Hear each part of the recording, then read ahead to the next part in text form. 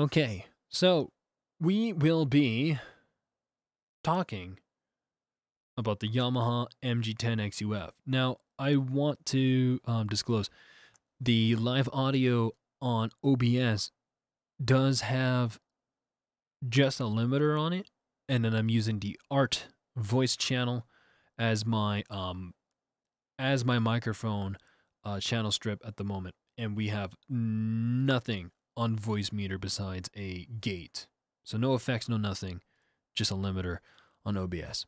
So let's let's let's talk about the the MG10 XUF. Ever since buying it, I've learned quite a bit, and I wanted to clarify a few things. Number one is that you can use the onboard effects without having it plugged into um, your computer via USB. That was the one fault that I uh, made the mistake of. So basically, you have here a effects um, channel, individual channel, and when you turn it on, okay, it is on, and whatever effect that you choose up here out of 24, it's between numbers 1 to 24. One is this reverb. I, I, I always use that. This knob here is going to determine how wet or dry the signal is. So if you have it just a little bit, then there's just a little bit of reverb. If you put it all the way, it's basically wet. Completely wet. And you can turn it off. So that is how the effects works. It's these white knobs here which you can turn up or down to determine how wet the signal is, or in a sense how how how strong that reverb is. Um, because basically this this this max this min max uh, effects knob up here it, it really just functions more for like the pitch stuff or the flanger and um, uh, other effects. It, it doesn't really affect the doesn't really affect the reverb too much. So that's the effect stuff. I want to really clarify. I figured it out. Control room. So as you can see, I'm plugged into the mixer. Okay, that was important. I should have done that. um, this button here. Okay, th this this knob is going to be for your headphones and also for your monitors. Now, if I click this button, I won't be able to hear how I sound like at all unless I click the PFL button. Now, I can click the PFL button and hear myself. And if I turn this button off, the on button, I'll still be able to hear myself. You're not going to hear me say the F word. And then if I turn it back on, you'll be able to hear me say the F word. Fuck. Okay? So that's that. So this button allows you to mute yourself. So you, if you don't want to monitor it, you don't have to. Um, but if the button is on and the PFL stuff is off, you'll hear what that channel sounds like. So let's say we have the piano channel on, okay, and we're playing the piano or something.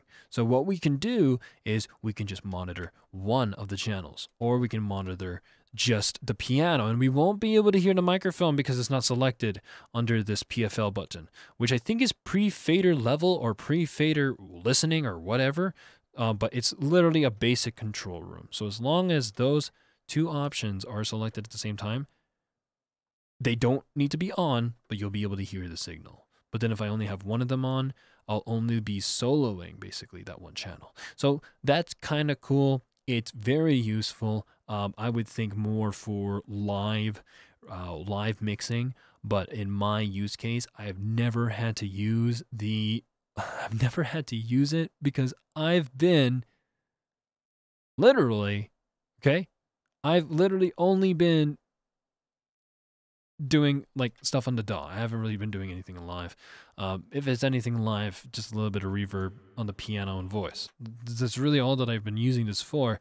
Um, and it's been very helpful to have all the inputs be able to go into my interface. at that point, though, if I wanted just a bunch of inputs, I should have just bought like a you know, more inputs of the interface, the more I think about it. But the one thing that's really beautiful about this mixer that I pointed out in the review or the first impressions is this fucking on and off button. The muting is perfect. It's noiseless. Noiseless. Noiseless. Oh my goodness. Okay, I think I, I made my point. The padding knob works, which is really nice. So even though this is, okay, uh, if, if, well, in a sense, this is a mono, it's a mono piano, mono, mono microphone in a sense, um, I'll be able to go to the right side of your ear right now, go to the left side of your ear right now with the panning knob, which is really nice to have that control. Uh, but now, to speak about panning and left and right, you'll see that up here, the meter moves in tandem. And it's perfectly fine. And we're using we're using oh sorry we, we're using balanced XLR out uh, into quarter inch right now. These are expensive Mogami cables, but you'll notice that on my interface, and this happened even when I was using not the quarter inch line in, um, but even if I was using uh, the reverse, so it'll be quarter inch out on the mixer, which is right underneath beside the headphone jack. So if I was using quarter inch out, okay, into balanced XLR, I noticed that this still happened. And if you look here, what am I talking about? Like this? Look at the left bar, okay, for the left channel here. When I scream and yell, you can maybe even see it while I'm talking. Uh, uh, uh, uh. You'll see that the left, it's higher than the right. It's not balanced, like like level wise. So I don't know what happened. I think my unit is defective. Uh, I don't think I can do anything about that, or Yamaha can do anything for me. But that's uh, it's a sad truth, and that's what I have to deal with now. So yeah, it, it sucks. It happens on the XLRs. It happens on the quarter inch. I've tried both, um, and uh, yeah, it, it even existed on on the on the Scarlett. So it, it's it was a big pain to to find this because this is the one thing I wanted to get away from when I left the Behringer uh, mixer behind. So it's sad that it exists on this, um, but the the beauty, okay, is that the right side does not distort or clip. It's only the left. So now I'm thinking, is that really on purpose? Because I don't know. Uh, but if it is, all right, because it's only the left channel, and I've tried swapping it to test, and yeah, it's only the left channel that distorts. Um, that's kind of helpful for me because if I have something, a recording where, let's say I scream at the top of my lungs and I end up distorting, even if I have the compressor on on the voice uh, on the channel strip, and I can't do anything about it at least the right side channel does not distort. That can be the only thing I can really imagine it being like useful for. But I digress. There's an issue with that on the output and it kind of sucks. So the effects, the panning, EQ. We have a 10K uh, attenuation. We also have 2.5K attenuation. And we also have 100 uh, hertz attenuation. So 2.5, uh, 10,000, 2.5, uh, and then we have 100. Just have to make sure. And it goes up to 15 dB. Okay, yeah.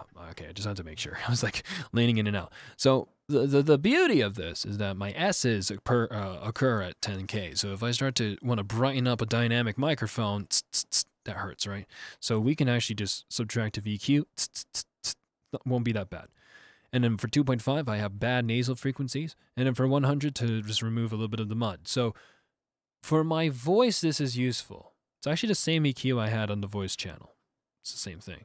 Um, the um, the amount uh, that this that this attenuates um, definitely bell curve. Uh, it's a, you know it's uh, it's pretty it's pretty it's pretty nice and tight.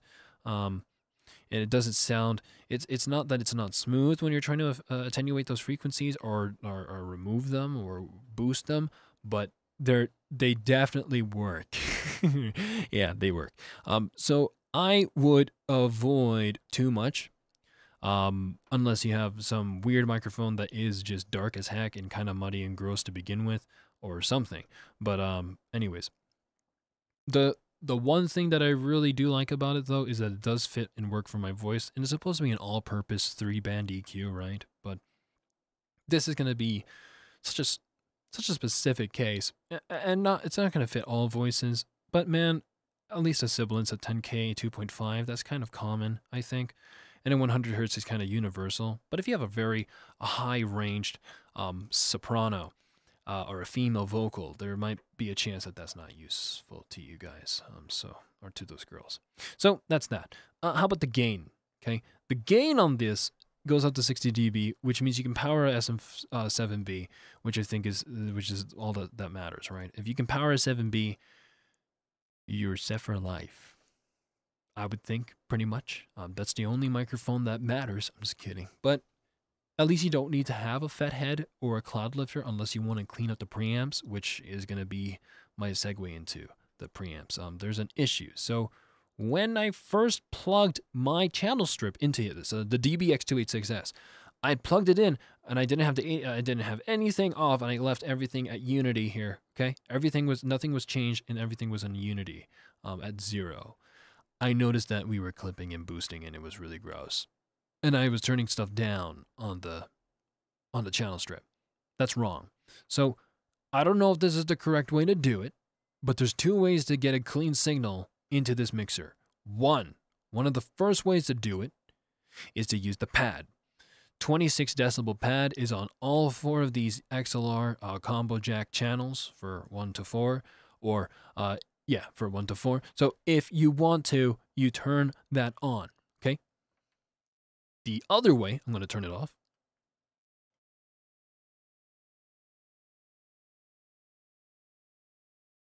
The other way okay is to turn the output dial on your channel strip down by 10 dB, and then you have the pad off. Okay, so that was something that I learned on my own. I don't know if that's actually how you're supposed to do it, but why else would we not want to use the output gain? Now, the only thing that sucks about this is that this is where you start to get weird readings. I do have a VU meter and a digital meter on the ART channel voice. So now I don't even know if the compression is working because it even shows that I'm not getting any compression anymore. My VU meter moves so small compared to when I had it driving completely. So let's let's change that back, huh? Shall we?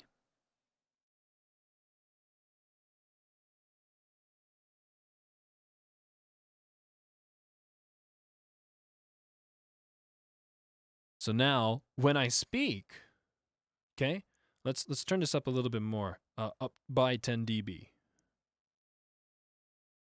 There it is. So now it's up by 10 dB.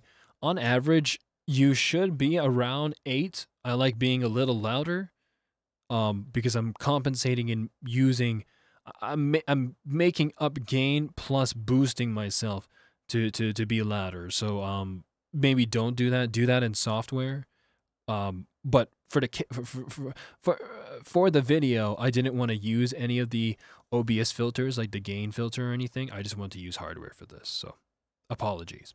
But yeah, even though I'm doing this incorrectly at the moment, if you didn't want to, if you needed it to be louder, um, those are the two ways I found out how to plug in your channel strip into this mixer, um, or into I think into a majority of the mixers out there um, because it'll also tell you that it's a plus 10 dB uh, for the line in. So you're going to subtract 10 dB on the output gain of of this uh, of the channel strip or whatever microphone preamp you're using. And you can add like a little bit depending on how much the compressor is compressing. Now, if you look at the compressor, okay, I'm gonna I'm gonna do a thing. As you can see now, my compressor is actually working when I need it to work. Okay, so that's good. It's good. I'm happy. So now, with, with that out of the way, okay, with that whole skit out of the way here, what about, what about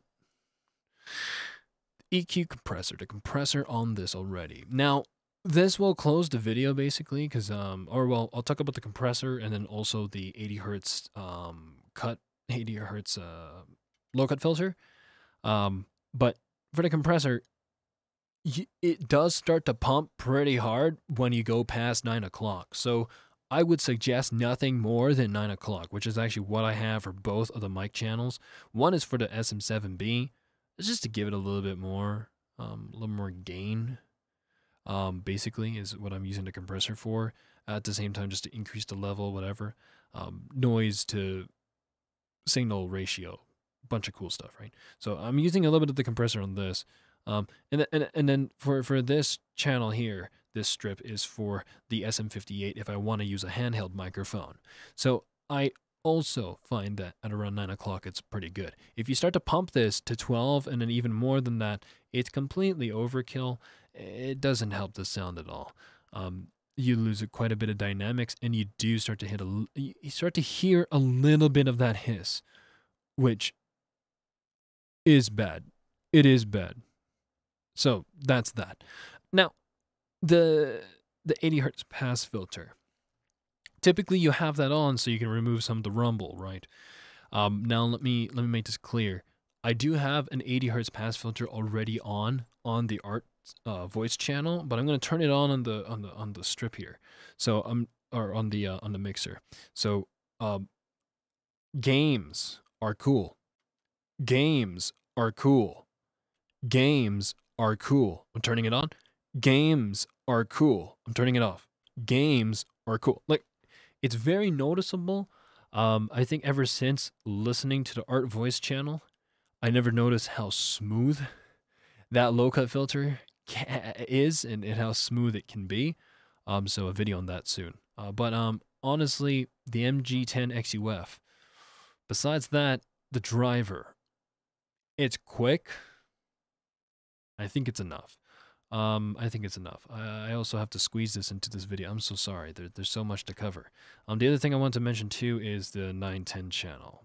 So if you end up using this as a USB interface, right, uh, and you're plugging into it, your headphones, you're plugging into the to the mixer here, you're gonna want this button here that says um, to monitor and then to ST. You want you want it up, and you want the USB button in.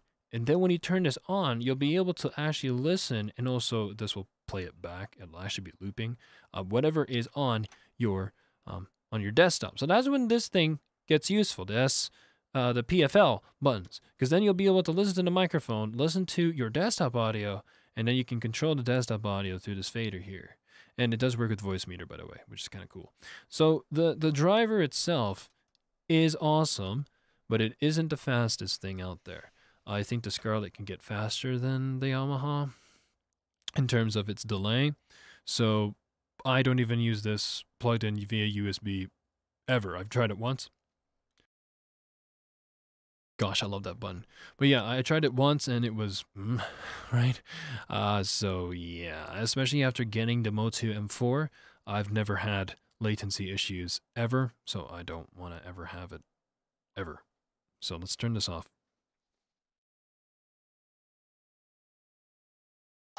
We're getting back into the M4. So now, that's the mixer. And I think uh, that's enough for me to say um, about it. Like, ever since owning this thing, I've been trying to take care of it by putting a cloth over it, like a nice thin handkerchief. Just so that there's not a lot of dust that gets on this. And I've been also doing the best that I can to, you know, just just use it when I need it. And and what I mean by that is especially some of the effects, especially like the the the reverb, it's kind of cool. Um the EQ kind of nice. Um the ability for me to have more inputs going into my interface is nice, but at the same time, you might as well just buy an interface that has multiple ins and outs. But depending on the price, they may come with like a virtual mixer that allows you to mute the individual channels. The Motu M4, I believe, doesn't. So even though there is like a line inputs on the Motu M4, I you know like I won't be able to control it. Um, so it's kind of nice to have these mute buttons. Awesome to be able to mix and fade it myself. The pan knobs are wonderful. Um, make make a mono signal stereo like that's that's great. But kind of wish that if we could, because of my issue of audio getting out I wish there was a means like in Voicemeeter where I can actually turn the channel that's stereo into a mono signal instead. So that way there's there's a balance for both the left and right channels. But I don't know if any kind of piece of hardware even has that ability to do so with a mono out. Um, if you had a stereo signal, so uh, it's it's it's a dream. But honestly, this mixer has has done its job for me and I love it and I'll continue to use it in my chain. Um, I will continue to use it in my chain. And it's just really, really wonderful. And I'm very happy with the purchase, but it's definitely, I guess, the few little tiny things like the features like the control room, um, the fact that like these channels here are kind of basically useless, and especially the phantom power button. I didn't mention that, but when you click this button, it applies to all four of those channels. So you have to be very cautious of what's plugged in here. And since a majority of the standard microphones are dynamics, like 57s and 58s, um, the, the day that you want to use a condenser, you're not going to want your dynamics plugged into this. So you basically only are able to use condensers on this if you end up having a condenser um, and you need the phantom power. So I digress. Um, that's everything for the mixer. A little bit of an update, and I'm very happy I made the video. I learned quite a bit. Yeah, I think. I don't know if I'm doing anything right, but I mean, at the at the moment, this sounds good enough for me, and I'm very happy with it. So take care, be safe. Um, I'll probably make a follow-up video on the Motu M4 now. Yeah, I think that's probably what's gonna happen.